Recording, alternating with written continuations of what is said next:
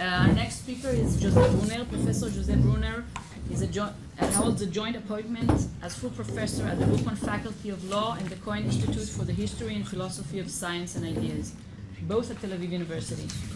Currently, he is the director of the Cohn Institute. At the law faculty, he also an academic supervisor of Israel's first legal clinic for the rights of Holocaust survivors and the elderly, which he helped establish in 2011. And my co-supervisor is Daphne. Mm-hmm. and is a senior faculty fellow at the Edmond Safra Center for Ethics.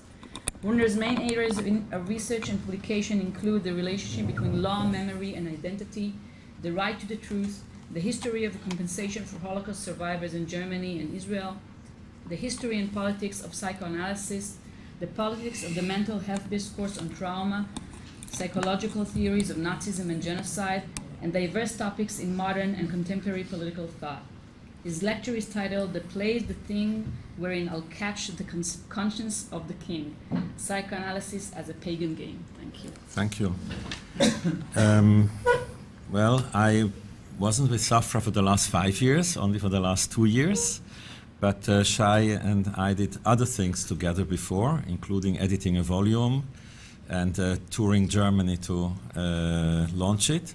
So I'm really happy I had also these two years in additional cooperation, and I hope there will be more in the future. Uh, what I want to talk about today is the ethics of psychoanalytic practice. And uh, I will do this from a particular angle that will become, I think, more clear uh, as I go on. Uh, and when I speak of psychoanalysis within the confines of this talk, I will only speak about Freud. There is no way, of course, to speak about the whole canon of psychoanalysis. Freud lays out the ethical task of psychoanalysis in the concluding passage of Studies on Hysteria, his first book, which he wrote together with his mentor and colleague, Joseph Breuer.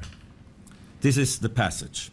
I do not doubt that it would be easier for fate to take away your suffering than it would be for me. But you will see for yourself that much has been gained if you succeed in turning your historical misery into common unhappiness. With a mental life that has been restored to health, you will be better armed against that unhappiness. The task of psychoanalysis, then, is an ethical one insofar as it aims to diminish suffering by restoring health of neurotics who would be condemned to misery, to hysterical misery, enabling them to reach a state of common unhappiness, but not only that, but also enabling them to cope with their common unhappiness. Freud's description of the aims of psychoanalytic practice in these terms may differ from the vocabulary of philosophers who tend to speak of the good life in terms of happiness, excellence, authenticity, or human flourishing. As Freud points out in Civilization and Discontent, it seems to him that, I quote, the intention that man should be happy is not included in the plan of creation. End of quote. Ultimately, however, the difference between Freud and the philosophers are not that significant. For like them, he's concerned with a practice that can help people to attain the best possible life, with finding a practice that will make it possible to live a life that humans will experience as worth living. As philosophers have done from Aristotle onwards, Freud suggests a method by which the goal that he lays out in the simple and sober terms of health and common unhappiness can be reached. Moreover, by a good many, like a good many philosophers, philosophers before him, he postulates that a particular form of dialogue can help humans to reach the best possible lives. However, since he regarded neurosis rather than a philosophically misguided approach as the obstacle to a full life, he invented a new profession with an institutional structure and a theoretical framework of its own, all of which were to serve the goal of curing neurotics. The American Nobel Prize winning theoretical physicist Richard Feynman is reported to have said that the philosophy of science is as useful to scientists as ornithology is to birds. Psychoanalysts are neither birds nor scientists. Ever since the inception of this new profession, there have been analysts who sought to bridge the gap to philosophy, and philosophers who sought to conceptualize psychoanalytic practice in their terms.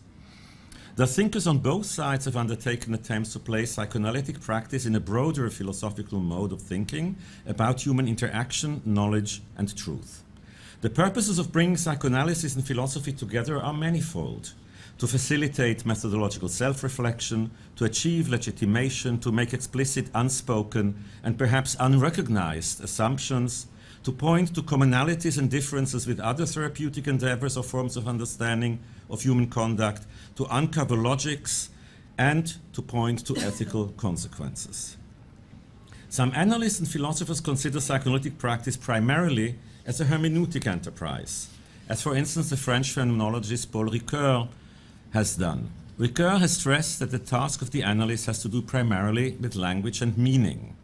He foregrounded the fact that it aims at interpretation, seeks to understand the deeper unconscious meaning of the analysand's utterances and behavior, weaving them into a coherent narrative. Others, who seek to place psychoanalytic practice within the realm of science, have entered into a dialogue with the American philosopher of science Adolf Grünbaum, who has examined psychoanalytic construction and interpretations as testable propositions to be validated by empirical evidence that can be gained, in his view, in the analytic setting. Over the years, much of the debate on the validity of psychoanalytic practice has focused on the question of whether it primarily seeks to arrive at coherent narratives or produce and test causal hypotheses, and whether it has to borrow its standards from one or the other of these two domains. The German social theorist Jürgen Habermas has suggested to regard psychoanalysis as a third type of practice, with knowledge constituting interests and criteria of validity of its own, which cannot be assimilated either to traditional hermeneutics or to the empirical analytical sciences. He proclaimed psychoanalytic practice to be driven by an emancipatory interest and to be methodologically self reflective. I concur with Habermas and others working within the tradition of the Frankfurt School that while psychoanalytic interpretations may have both causal and hermeneutic aspects, they are neither hypotheses that analysts arrive at on the basis of clinical data, nor the result of exegetical exercises performed on the analysand's utterances. However, Habermas is less convincing when he presents psychoanalysis as the prime example of an emancipatory science that proceeds by means of a rational dialogue enabling methodological self reflection. Habermas' reading of Freud leaves us with a picture of a pale analytic setting, a philosopher's fantasy that is devoid of conflict, subterfuge, secret sexuality, authority, and dependence. More recently, the French philosopher and religious thinker Emmanuel Levinas has been popular with analysts. In recent years, some of them have claimed that Levinas' ethical theory, which stresses uniqueness, responsibility, empathy, and compassion, and focuses on the face to face encounter with the other, is most relevant for a philosophical understanding of psychoanalytic practice. Though responsibility for another person constitutes certainly a pillar of psychoanalytic practice, it is also based on the assumption that the analysand is hiding something from herself in her unconscious, and that the analyst has been hired to help her discover what she's hiding and how she's hiding it so successfully that she can't access her secret, although it makes her ill and imposes suffering on her. To make conscious what hitherto has remained unconscious is indeed the central task of psychoanalytic practice, a task that can certainly not be achieved by empathy alone Hence, rather than by an ethic of compassion, much of psychoanalytic listening is guided by an attempt to note and decipher clues to ideas and affects analysands may both hide and reveal. Paul Ricoeur has highlighted this element of psychoanalytic practice when he described it as a hermeneutics of suspicion, awarding Freud together with Marx and Nietzsche the title of being the great, one of the great masters of suspicion. Such aspects of psychoanalytic practice as well as the fact that it is a professional service that is performed against payment and according to strict rules, are lost in the romanticize, romanticizing Levinasian vocabulary of compassion and care. So I've outlined four approaches the scientific, hermeneutic, emancipatory, and romantic.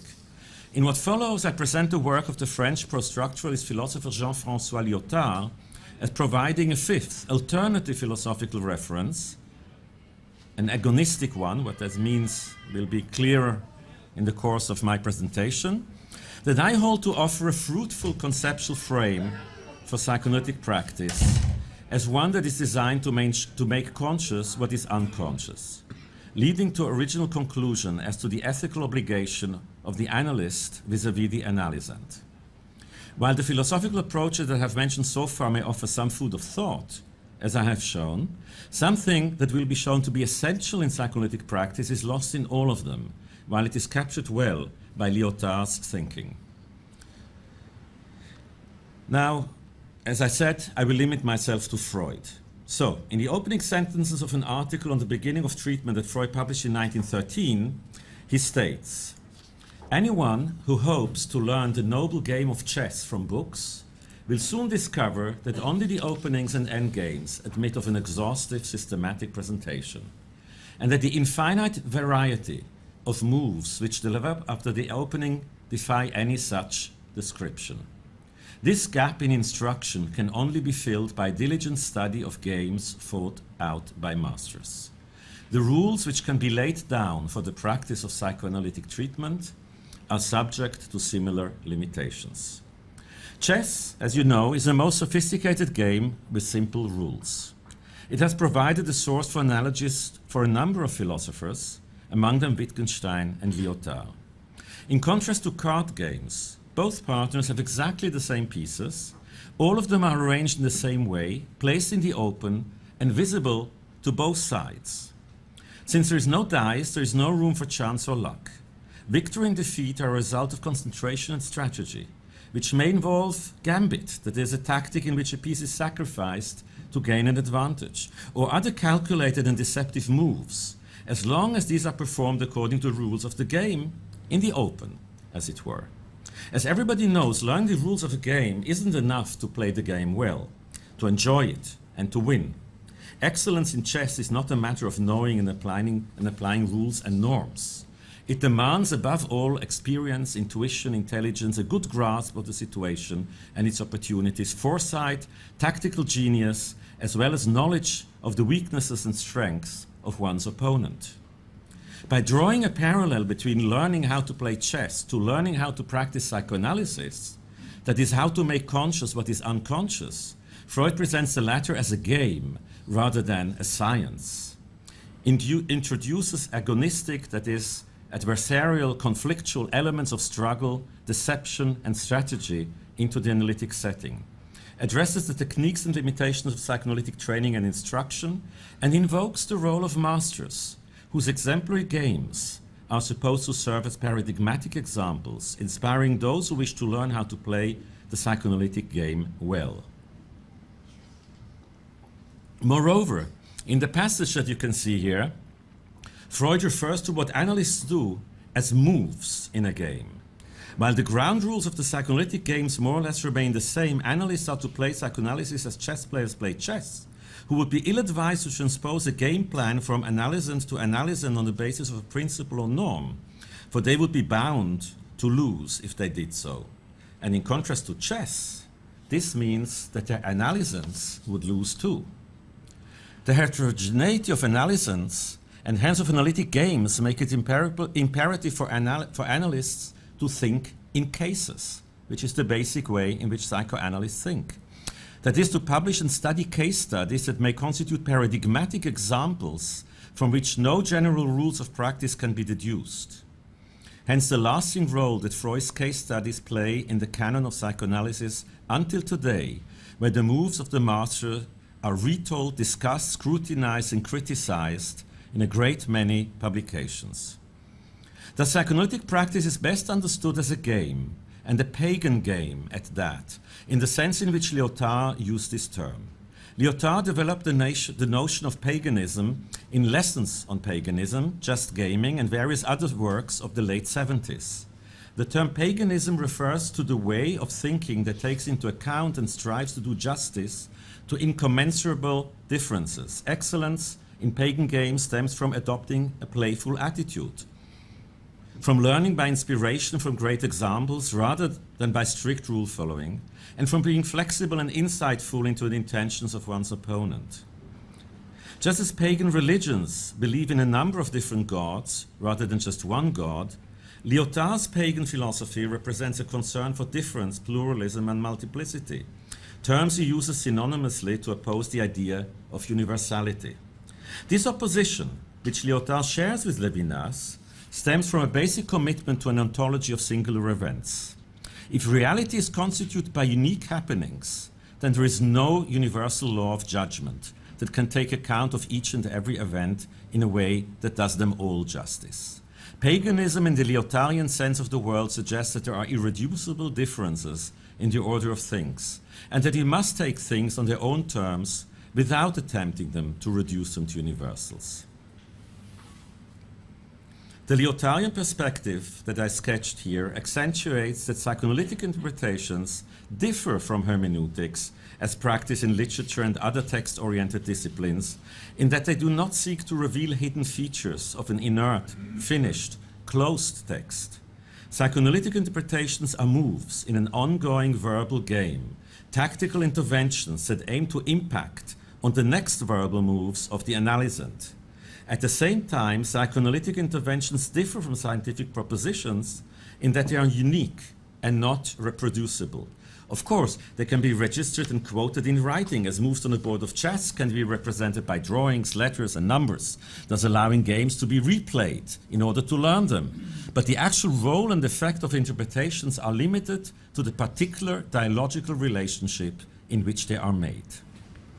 So far, I've accentuated the game-like character of analytic practice. Before proceeding to another analogy, let me point to an aspect of psychoanalysis that distinguishes it from other competitive games. I've alluded to it before, and turns it into an ethical practice. Though all games involve rules, strategy, and the context of, and the contest of wills, usually competitive games follow a zero-sum logic. Only one of the opponents can win.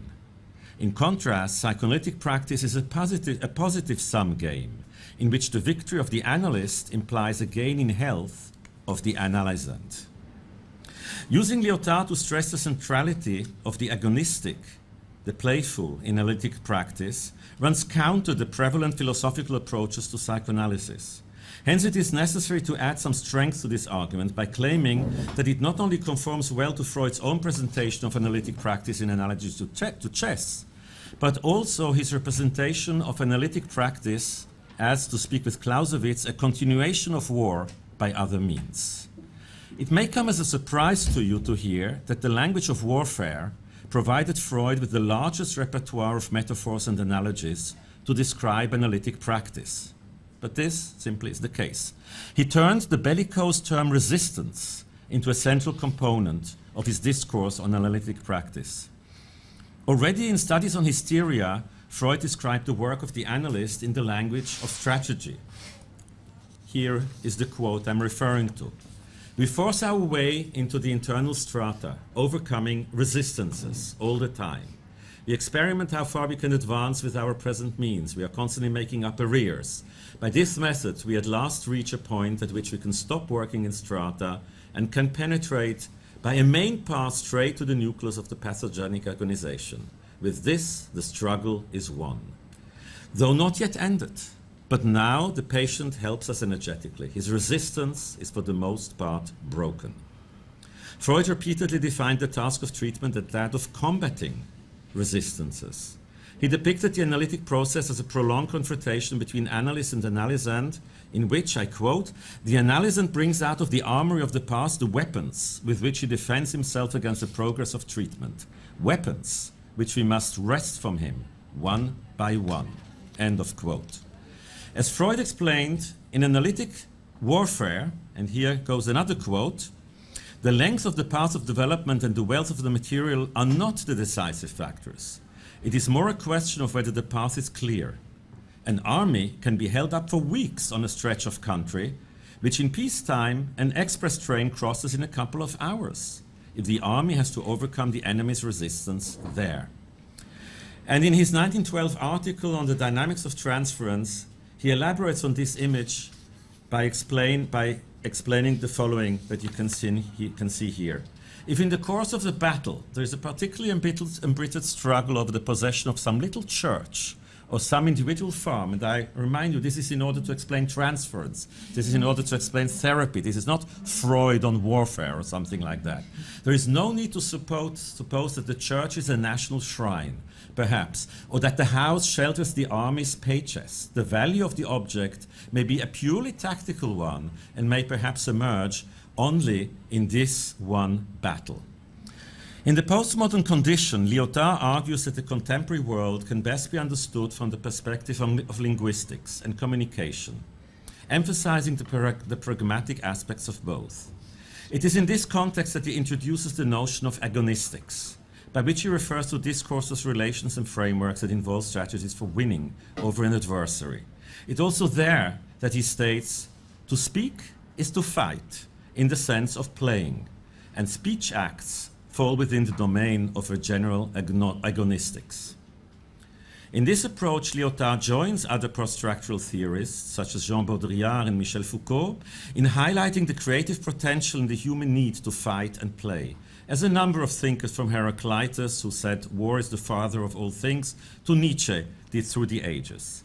Lyotard is quick to point out, against Habermas, not only that consensus is not a worthy goal because verbal conflict is creative, but also that it makes no sense to try to set limit to agonistic communication.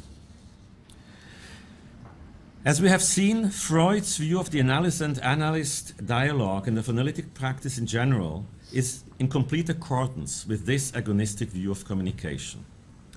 Moreover, in his eyes, psychoanalytic practice is predicated upon the fact that humans cannot stop communicating, even if they wish to do so. They never really shut up. At best, they change their mode of communication. Here, Freud on Dora. When I set myself the task of bringing to light what humans keep hidden within them, I thought the task was harder, a harder one than, I, than it really is.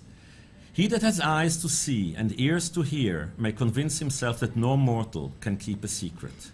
If his lips are silent, he chatters with his fingertips. Betrayal oozes out of him at every pore, and thus the task of making conscious the most hidden recesses of the mind is quite possible to accomplish. So, what is this war that Freud is talking about? It's a civil war in which the analyst intervenes as an external ally.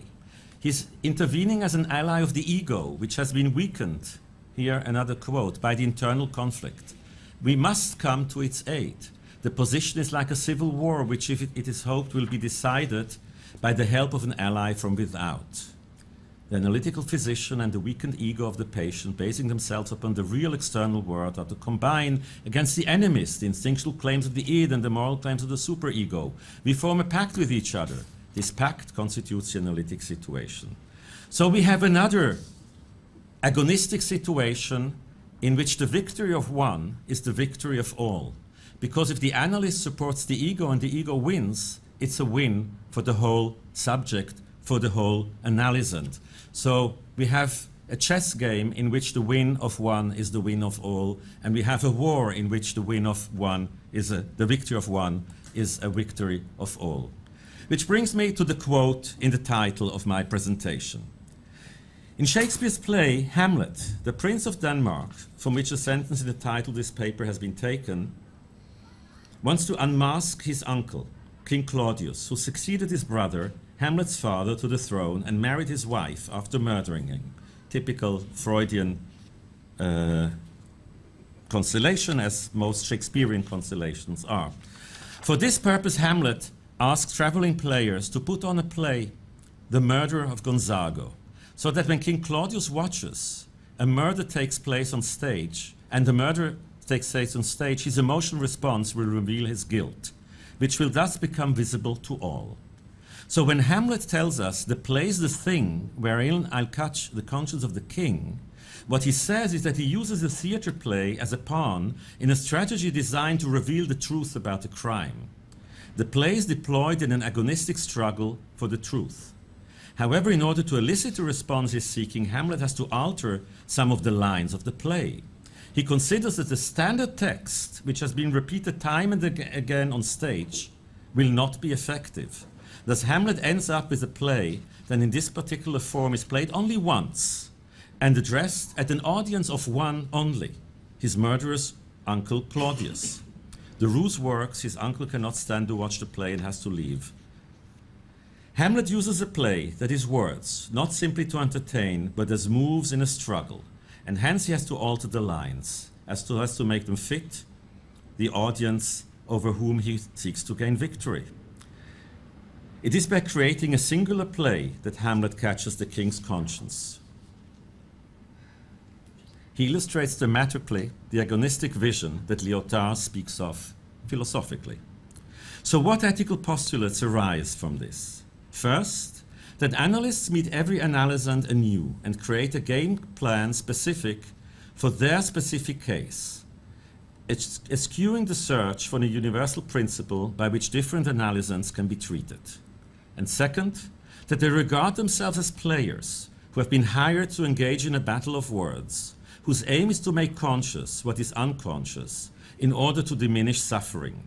Thus, rather than closing psychoanalytic practice in an ethics of compassion and care, as, Levinasian, as the Levinasian approach does, or an emancipatory vision as Habermas would have it, a Lyotarian ethics of psychoanalytic practice regards analytic setting as a framework for agonistic encounters in which two opponents fight each other with words, but where the victory of one, the analyst, also means an increase of health in the other. At the same time, the stress of the Lyotarian view, the stress the Lyotarian view places on the heterogeneity of analytic encounters distinguish psychoanalysis from scientific endeavors as well as from hermeneutic enterprises. Conjoining these two postulates, the uniqueness and the agonistic, the ethics that emerges from Lyotard's work proposes that using the same play, uh, the same uh, strategy for different patients would not only be ineffective, but also unethical. Thank you.